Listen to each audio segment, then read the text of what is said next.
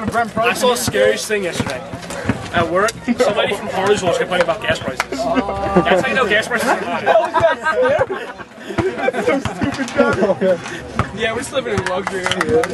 I saw a guy running around on like a fucking Segway in Harley's with a helmet. Yeah, he does. The guy he always goes by Wawa. Yeah, that one.